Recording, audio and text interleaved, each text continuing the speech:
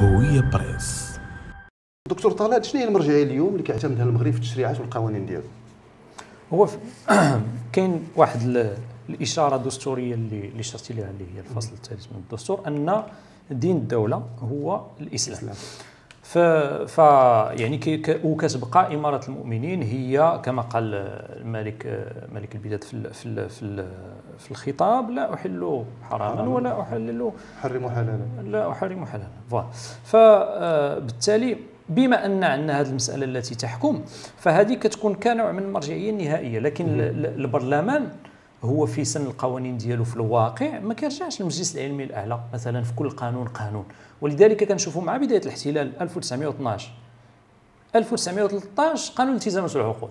مباشرة الفلوس المادة. شنو اللي كيحكم قانون التزامات العقود؟ يعني المرجعية المرجعية ديال ديال اللي جابها المحتل الفرنسي.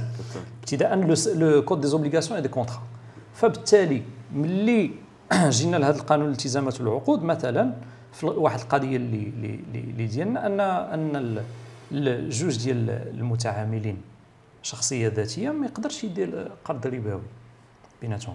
لكن مع آه، يعني une personne morale يعني شخصية آه، معنوية. معنوية ممكن. وهذا فتح الباب للبنوك. واللي جات بعض الخزيرات إلى غير ذلك. فبالتالي كنشوفوا أن الواقع آه، الواقع ما كي- ما كيرجعش دائما للمرجعية اللي هي المرجعية ال- الإسلامية في التفاصيل ديال القوانين.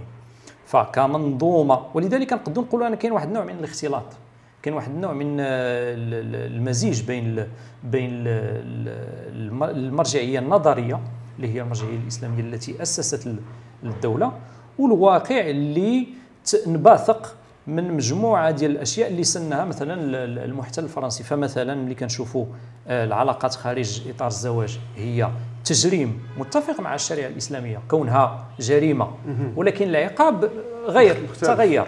فبالتالي كنشوفوا نوع من من ال- المزج بين آه، واحد الممارسات اللي هي جابها المحتل الفرنسي وواحد النظريات اللي هي متجذره في الدولة المغربية اللي هي آه، لا يمكن أن نقول أن الدولة يعني علمانية هكذا نظريا وتطبيقيا لأن تحليل الحرام وتحريم الحلال غير ممكن نظريا غير ممكن نظريا. كيبقى التطبيقات آه، فيها مجموعة ديال الأشياء وكما قلنا يعني مثلا البرلمان ملي كيسن القوانين ديالو ما كيرجعش دائما يعني ما الأصل أنه ما كيرجعش للمجلس العلمي الأعلى بالنسبة للقوانين. ولكن نفس في الدستور لا يمكن أن تتناول أن تتناول الأحكام المتعلقة بالدين الإسلامي من طرف أي حزب سياسي.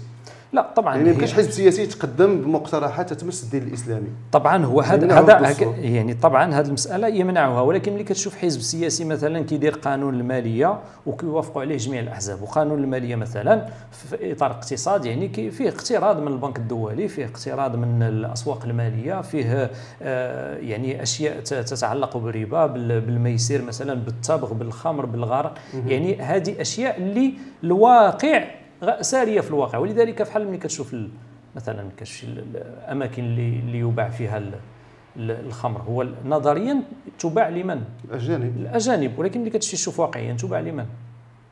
فهنا كتكون واحد la dissonance cognitive واحد ال- ال- ال- ال- الفصل واحد الانفصام بين الأسس هذه الأسس لاش راجعة؟ الهوية والكنه الذي تأسست به الدولة المغربية اللي هو الهوية الدينية اللي هي البيعة.